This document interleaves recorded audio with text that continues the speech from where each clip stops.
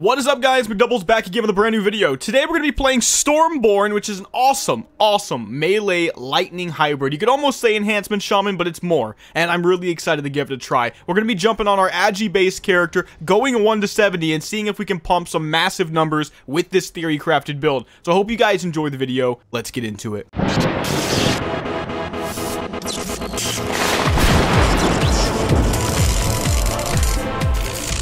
Hey guys, before we start the video, make sure to subscribe and hit the bell notification. Apparently a lot of YouTubers got a bug in the last week or so. Uh, I say a bug, we know it's always happening on YouTube for some reason as the algorithm works, it's magic. But uh, a lot of people aren't getting notifications for the channel. So if you don't want to miss anything, because we've always got the whole saga of Project Ascension happening over here, make sure to once again subscribe, smack the bell icon so you always get a notification.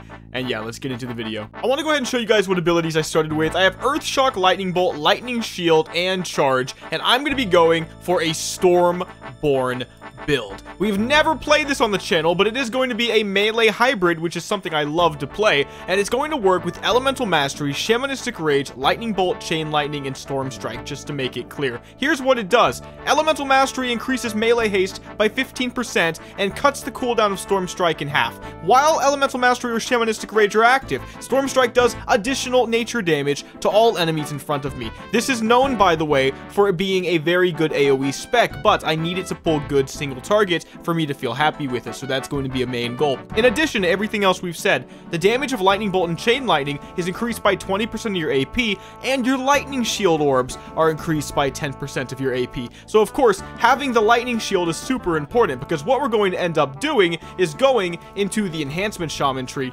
up the Static Shock talent, and shooting our opponent with Lightning Shield orbs whenever we attack. That's going to be really, really big. So I've got some plans for this. I think it's going to be fun we have the skill cards Shamanistic Rage, Elemental Mastery, Arcane Power, and Seal of Vengeance carded. And for the lucky cards, I'm hoping to get things like Rampage, Rock Biter Weapon, Storm Strike, Bloodthirst, Whirlwind, and Chain Lightning. And yes, I really do actually want the uh, Whirlwind and the Bloodthirst. I have a weird theory craft I'd like to at least try. Rock Biter, a little bit of a consolation prize. Ultimately, I think this build might be better with Frostbrand, but I don't have access to a Frostbrand card, so it's not testable. I don't even know if Flame Tongue is better than Rock Biter, but Rockbiter is a safe bet because I do have some ideas, as you can see with the Bloodthirst and Whirlwind, for more AP scaling uh, parts of the build. And everything does scale with AP with this build, with the Stormborn specifically, so I think it's a good idea.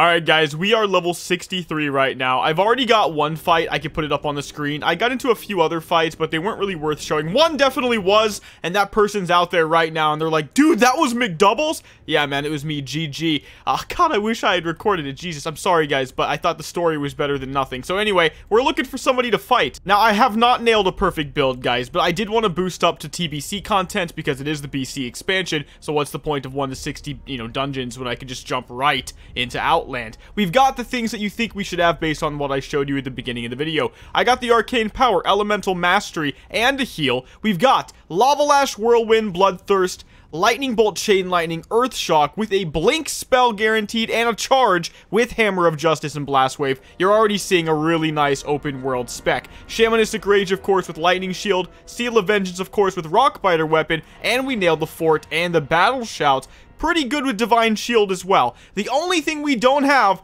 is Storm Strike. And my friends, I've already used 12 thousand marks of ascension in my attempts to roll that spell, and I just was that unlucky, even though it was a lucky card, and so I had a higher chance of getting it during my normal leveling from 1 to 62. So that's definitely a big F, right? But I've still concocted a weird build that I want to start with because we still have a high chance of rolling Storm Strike once we reach max. High is maybe the wrong word, but a decent chance, and if not, of course, we have to re-roll. But I did want to go for something interesting, and I thought it was actually worth recording and showing you guys. I want to play Bloody Maelstrom. So I think this is probably awful because no nobody talks about it. Nobody has anything to say about it when I ask about it, and uh, I don't see it anywhere on the Hero Architect. Not to say it's not there, I just haven't seen it. This says Consuming Maelstrom Weapon causes Bloodthirst to do elemental damage to up to three nearby targets, turning Bloodthirst effectively into an AoE spell, which could be pretty cool for dungeons and stuff like that. Or maybe for burst damage, if it does decent enough damage. They did actually cap it to three, which makes you think it might actually slap. So even though I don't have the Storm Strike, I can still whirl Whirlwind into the Bloodthirst for AoE damage and for hopefully burst. After getting a Chain Lightning off, you can see a little rotation there where I'm hitting, you know, a few targets at a time, but maybe for a lot of damage. I just want to see how it works. I've got my Earth Shock and my Lightning Bolts going off, Lava Lash, kind of a filler spell. Again, it's wonky, but it's interesting. I mean, who have you ever seen play something like this? Now, that's not it. I've got a few other things. Channeled Rage will help me regain my mana, and we've got 3 out of 3 in Stormforged weapons, so 15% of my auto attacks will actually be nature, not physical. That's really cool, right? You don't see enough of that.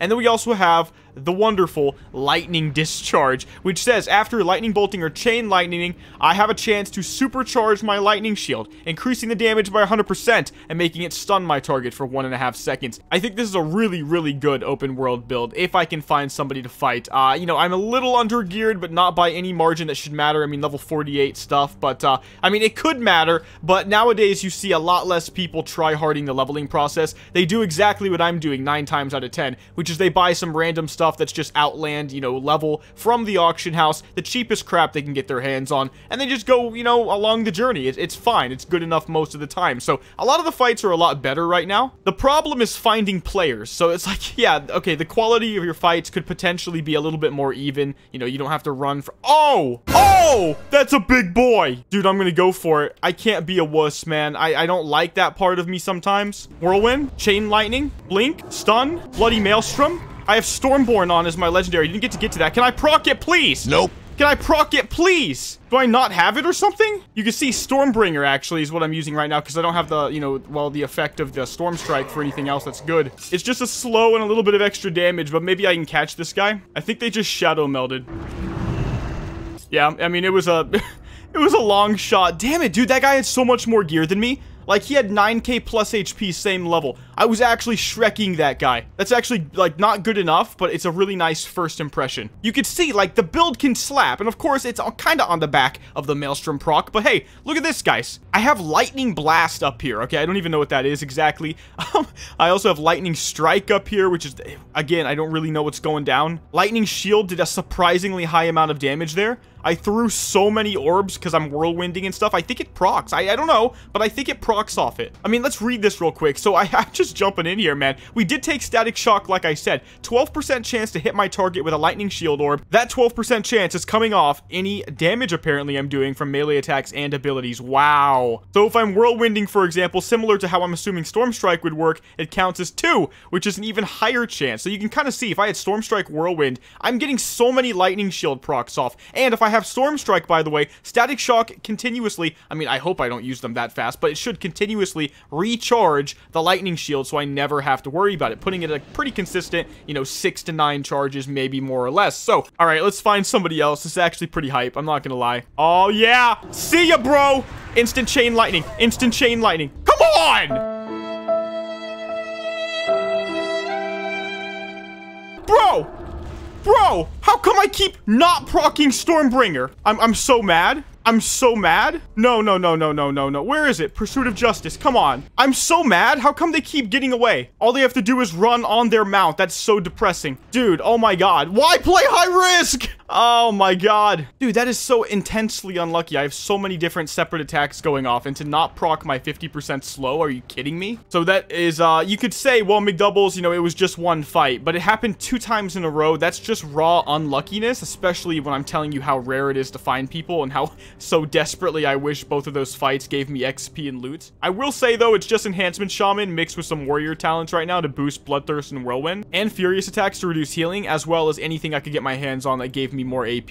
Man, am I not going to find anybody else? Like, I can fight anybody right now. I'm currently a mercenary for hire, and I've already been screwed by this new system a couple times. That's because in the old days, you could just become evil anytime you wanted. It was called popping your criminal intent. And uh, so, okay, let's say I didn't, you know, think too hard about it. I go out into the world, I find a guy on my own team I want to fight, I could just pop the buff and attack him. Nowadays, you can't do that. You can only go mercenary mode in a capital city, which is so extra, man. But yeah, guys, I was just thinking, like, we just need to jump into some TBC content, you know, break out of the 1 to 60 for just a solid second, man, because uh, that's what TBC is all about. Magtheridon's Lair is available right now at max. I have not created a build that I wanted to do that raid with yet, uh, but I will, and maybe this is actually going to be it. That could be really, really sick.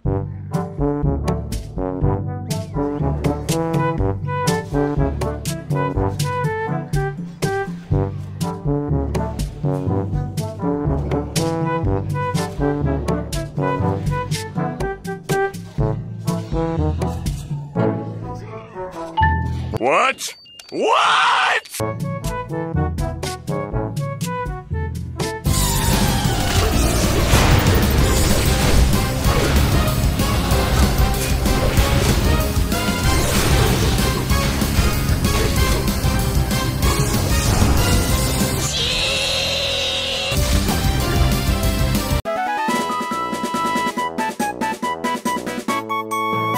Alright, so we did find somebody, but uh, it was a pretty easy kill. You can see my bag is just full of garbage right now. I've, I've definitely got to find more fights, guys.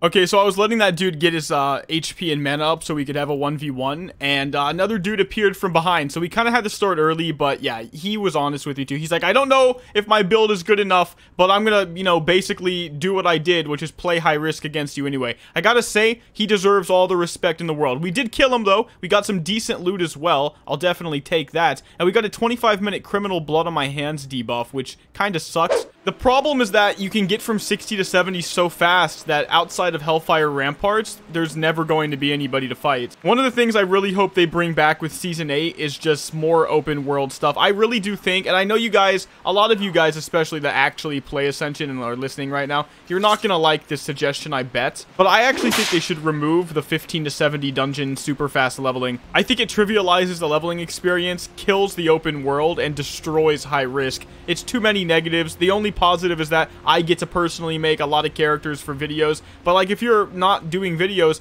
you don't make enough characters probably to care anyway, unless you're hardcore sweating it up for prestige gear, which I've done too, by the way, so I'm not talking crap, I'm just making a statement. Most people will never do it. It's pretty stupid to design around such a small percentage of people.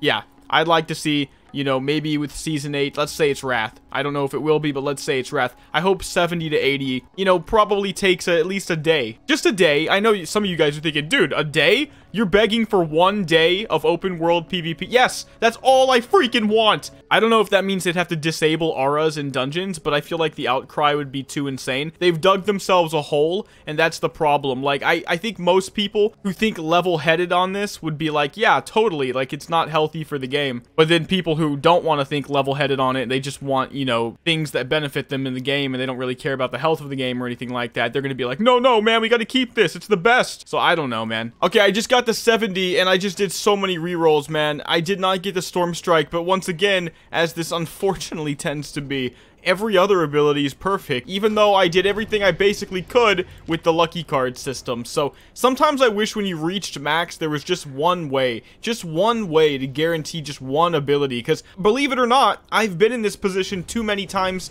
to where it's a coincidence. So I guess we have to restart, guys. Jesus Christ, I'm gonna go Prestige. And the worst part is I keep getting these stupid sealed cards, which are never good, clog my bags, and take way too much time to sift through. And so it just keeps like piling up up, man. All right, let's prestige. Literally, it's been like five, six, seven days or whatever on this one build. Okay, let's do it. Boom. And let's do it one more time. Another boom.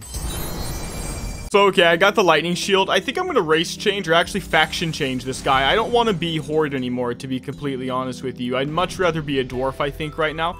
I feel like I've been sticking to the same races because we keep playing the same guy for new builds. It's kind of the way this works, right? But I think we can change. So I've got the lightning bolt now too. It doesn't really matter at this point what I start with. Maybe charge, maybe battle shout too. It really just comes down to do I nail my lucky cards, man? Like unfortunately that's it. The only thing that could be better here, by the way, is if I could replace Seal of Vengeance with Storm Strike and then over here make the uh, Seal of Vengeance be a lucky card. But I don't have a Seal of Vengeance lucky card and I definitely don't have any good goldens because uh, first of all, even when you do go for them, they're never any good, man. The RNG should be better since you pay so much money on them. But it's not, so, uh, you know, it kind of is what it is. No point of complaining any further if it's not, you know, going to change. One thing I maybe could do is reduce how many rares I pick outside of the lucky cards, but I thought I already was, dude. I really thought I already was. I feel like that was just being unlucky. Like, I just hope Magtheridon's lair is done by the end of this video. Like, I, I don't want to shoot myself in the foot by even saying that this early, but that's really what I'd like to do. Ooh, Earth Shock, that's a good one. Okay, so yeah, not only do I want to do Magtheridon's lair, guys, but I want to come top five. You know, it depends on the size of the raid, right? If it's like a 25 man, I, I would take just being on the page. You know what I mean? Like, I don't know. Let's see what we can do and get to 78 sap. I'm gonna go ahead and join a group, and uh, it's gonna be super quick, I hope. Okay, so you might be asking yourself, why am I talking to you underneath Stormwind right now on a dwarf character that seemingly has a perfect build. Well, my friends, let me tell you a little bit about what happened to get me up to this point. So I just leveled 1 to 70 on my race changed Stormborn character, and I'm sticking to what I want to do, which is Bloody Maelstrom, and the whole 9 yards in that regard. So I went ahead and got to 70, and I did my very first Mythic Dungeon after theory crafting a little bit on the dummies outside of Stormwind. Turns out, if you killing spree the dummy, it can bug you out and send you under the city. So hey, now you know how I got here, but I did queue. And when I queued, I got into my first mythic and did absolutely insane damage with 118 item level right now. I was super duper impressed. I am genuinely making this crap up. I don't really know how it's actually seemingly coming together. Now, okay, this build is traditionally not good single target, but I am still pumping like a madman in the AoE department. And if I could just do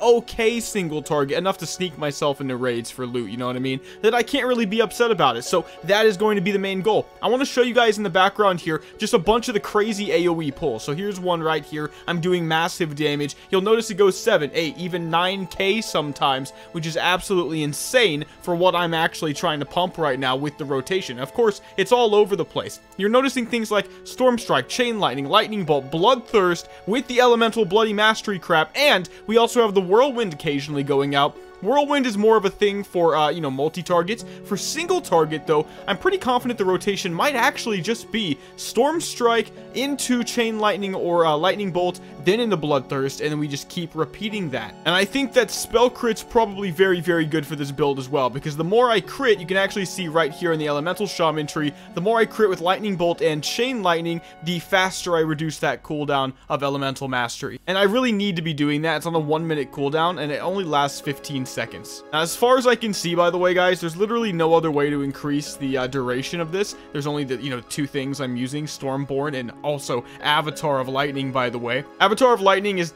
typically some kind of PvP, possibly even PvE uh, Moon Chicken, you know, boomy build, but uh, because it cuts the cooldown of Elemental Mastery in half, it's actually advantageous for the melee build I'm using right now as well. Now, I don't really need Shamanistic Rage for this build, but until we actually get to a point where Elemental Mastery always resets itself because we crit that much, we basically have to use the Shamanistic Rage just to guarantee Stormborn is up 24-7. But I didn't go with Channeled Rage. Again, Avatar of Lightning, Bloody Maelstrom, naturally strong. So this is just going to be 10% more nature damage just for playing my class. And this is what I think is best. But yeah, you're seeing on the screen right now my final single target DPS against Murmur. And uh, yeah, you can see the DPS right here actually now that I'm in Stormwind again. We only did 3.1k and we didn't even come in first somehow. It just, it doesn't even make sense. That's obviously concerning, guys, because uh, obviously 3k DPS is horrible. Listen, I've been trying to make this build work forever and the single target rotations have been killing me. I was able to land the Moonkin form and we weren't able to get Rockbiter, but as you know, we were able to get the Storm Strike.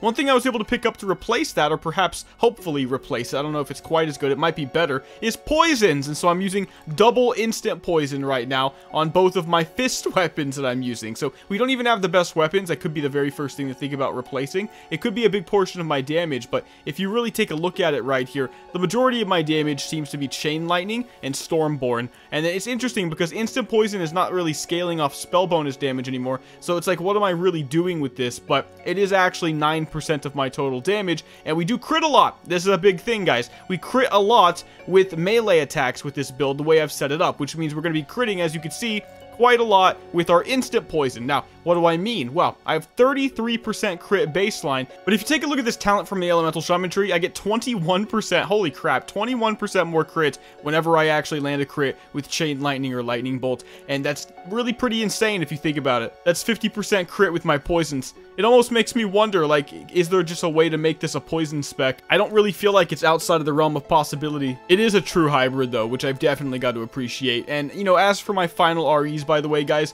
I've gone for Mental Quickness, Voodoo Power, Elemental Devastation, of course, and Weapon Expertise to cap ourselves out. So, again, I think this build is super duper fun. It's actually like really enjoyable to play, especially now that I'm starting to understand the rotation, and we've also made it up ourselves. So I'm to keep playing it, and we'll see if we can make it any better and maybe get some loot. So I queued up for a second dungeon, and once again, I was dominating in AoE, but I wasn't the absolute best this time. Sometimes I was just second, sometimes third, so by dominating, I just mean the AoE was good. But the single target's so bad, it's not even funny. At the end of this boss, I ended up doing like 5.5k and I'm so unhappy with that, it's actually unbelievable, because that's actually probably too good for this spec. There, there must have been something on the boss that made me do more damage there. A buff, maybe, that maybe uh, a couple of my teammates had. I don't know what it was, but on a dummy, I don't match that. So, the biggest problem I'm having with this build right now is that it just seems to suck. So, okay guys, I'm in a weird position. Stormborn is only good in AoE, and that's fine, but I need to do better than that. Okay, one last hurrah for Stormborn. We queued up for some PvP in a full PvE set. Literally nothing good for PvP right now.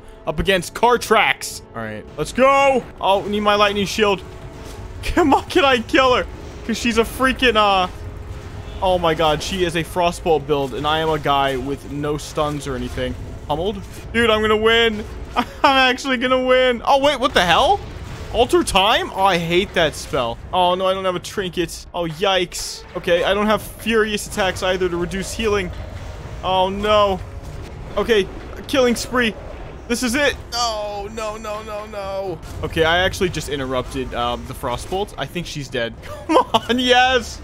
I'll take it. But okay, guys, that's going to go ahead and be the end of the video. We're going to go ahead and do the AMA and the giveaway, but what I do want to say about Stormborn is this. It's an AoE M plus spec. That's basically the gist of it. There's nothing special about the single targets, and basically any which way you do it, you're not going to come up with anything that makes you really feel like, oh, I want to play this over, oh, well, let's say it's, you know, competitor, you could say, like Thunder Slam, which has a far better single target spec out on the market right now. So I'm going to put my M plus spec in the Discord, and you can check that out if you want something that can do good AoE. But I'm really kind of hoping that Ascension looks at this enchant again, specifically maybe giving it a permanent cut in half cooldown for Storm Strike. That might be really, really good. But hey, that's just one little idea. We'll see what they come up with if anything. Alright guys, quick AMA for the video. Blanket Party says, would you please get the devs to balance Booming Thunder? It's getting to be so cringe seeing the easiest build on the planet be so unbalanced. Hey man,